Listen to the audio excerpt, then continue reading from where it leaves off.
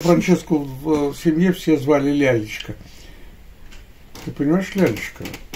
Я сейчас переходила улицу, а теща уже в это время, страшно не было, она переходила улицу, она видела, что улица.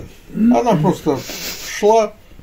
Не могу сказать, что там теща обладала каким-то необыкновенным чувством юмора, но, но к старости у нее действительно что-то такое занялось в голове.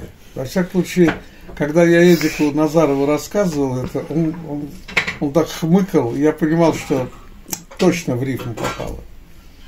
И вот теща рассказывает, ты представляешь, Лялечка, я перехожу улицу, иду по диагонали, вдруг останавливается какой-то самосвал, оттуда высовывается водитель, говорит, ты тетка, ты куда идешь?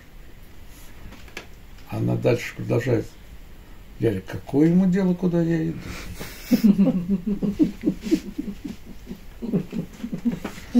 По-моему, блеск.